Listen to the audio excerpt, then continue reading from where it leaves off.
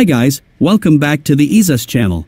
If you're planning to give your MacBook away or sell it, you'll generally want to consider restoring it to its factory settings. Normally, all you need to do to restore your MacBook to its factory settings is to turn on your Mac and find the Erase All Content and Settings button in Settings. But, if you've forgotten your password, don't worry. Today, we will discuss how to factory reset a MacBook Pro or Air without password. Remember, before erasing your Mac, you should consider backing up your Mac with Time Machine or iCloud. Or you need to find a data recovery tool like EaseUS Data Recovery Wizard for Mac to recover lost data after resetting. After saving your important data, we will explain how to reset your Mac in case you forgot your password. Method 1. Reset your Mac's password in recovery mode. Shut down your MacBook and press the power button until you see the message, Loading Startup Options.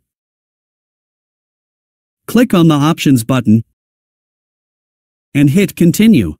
Then, wait for the macOS recovery window to appear. And choose Utilities, Terminal.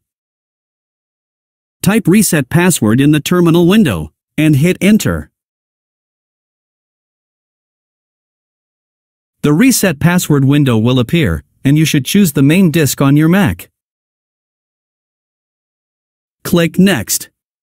Select the account that you need to reset the password, and click the option Forget All Passwords. Then, choose the Deactivate Mac option. The system will ask you to confirm the process. Click Deactivate to continue. Just wait.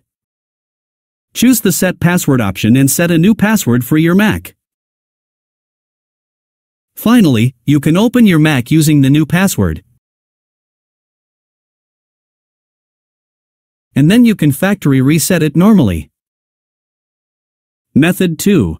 Reset your Mac without a password via Disk Utility. This method should boot your MacBook into macOS recovery mode and then choose the disk utility. You should choose the Macintosh HD, often referred to your startup disk, and click the Erase button at the top neon. Remember to set up a macOS compatible file system for the erased volume. This method can help you erase all contents and settings on your Mac.